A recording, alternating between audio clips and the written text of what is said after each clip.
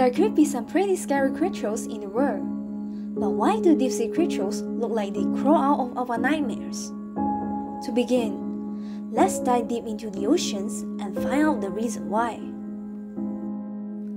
The deep sea is absolutely dark, and there is no point in evolving pretty color schemes. So most deep sea creatures are pretty drab. Some are translucent. Some creatures have glowing spots which able to detect bioluminescence flashes to identify predator, prey, or mates.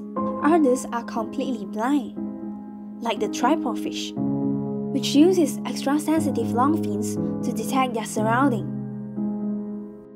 The lack of light means that food is scarce at the bottom of the sea.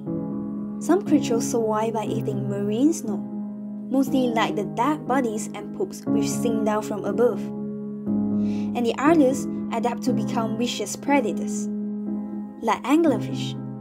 It has a bioluminescent lure on its head to attract unwitting fish. And it has a sharp snaggleteeth to prevent predators from escaping.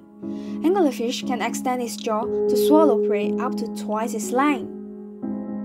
That way, if it's lucky enough to find food, it can stock up. The pressure at the bottom of the ocean is one of the reasons in the weird appearance of the creature's death. You probably have heard of the blobfish, which looks like a pile of goo when it's out of the water. To deal with the harsh conditions, the gelatinous, low-density flesh helps it stay buoyant when it's under extreme pressure. Oceans cover more than 70% on our planet, but only 5% of them have been explored. The deep sea might as well be an entirely different planet. So, who knows the other weird creatures lurking in toes depth? If you enjoy our video, don't forget to give a like and subscribe to our channel so that you won't miss out anything interesting. We'll see you in the next video. Bye!